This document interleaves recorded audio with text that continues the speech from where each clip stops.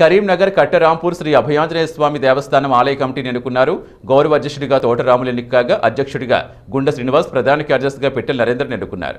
పన్నెండవ డివిజన్లో అభయాంజనేయ ఆలయ కమిటీని ఏకగ్రీవంగా ఎన్నుకున్నామని కార్పొరేటర్ తోటరాములు తెలిపారు. ఆలయ అభివృద్ధి లక్ష్యంగా ముందుకు సాగుతున్నామన్నారు. ఇరవై మంది సభ్యులతో కమిటీని నియమించామని చెప్పారు. నూతన కమిటీ సభ్యుల సహకారంతో నిత్యం ధూప దీప నైవేద్యంతో ఆలయం విరాజిల్లాలంటూ ఆకాంక్షించారు.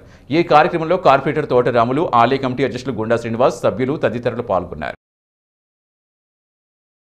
మా పన్నెండవ డివిజన్ పరిధిలో గల శ్రీ అభయాంజన స్వామి దేవస్థానం కట్టరాంపూర్ యొక్క నూతన కార్యవర్గాన్ని ఈరోజు అందరం కూడా కలిసికట్టుగా ఏకగ్రీవంగా ఎన్నుకోవడం జరిగింది.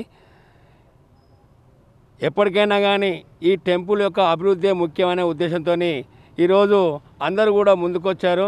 దానికి అనుకూలంగా ఈరోజు అధ్యక్షుడిగా గుండా శ్రీనివాస్ గారిని మరియు జనరల్ సెక్రటరీగా శ్రీ పిట్టల రాజేందర్ గారిని నరేందర్ గారిని పిట్టల నరేందర్ గారిని ఎన్నుకోవడం జరిగింది. స్థానిక కట్టరాంపూర్లోని పన్నెండవ డివిజన్ పదిలోని భక్త ఆంజనేయ అభయ ఆంజనేయ స్వామి దేవస్థానం కార్యవర్గం గౌరవ కార్పొరేటరు తోటరాములు గారి ఆధ్వర్యంలో ప్రజల సమక్షంలో ఎన్నుకోవడం జరిగింది. దీనికి నేను అధ్యక్షునిగా ఎన్నికైనాను.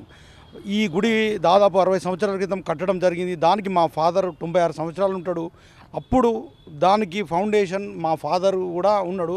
ఆ సేవ తనకు వచ్చింది నాకు కూడా వచ్చినందుకు చాలా సంతోషంగా ఎలాంటి అవకతవకలకు వీలు లేకుండా మంత్రి గారి పేరు కార్పొరేట్ గారి పేరు నిలబెట్టేటట్టు అందరి ప్రజలకు మంచిగా ఉండేటట్టు ఉంటానని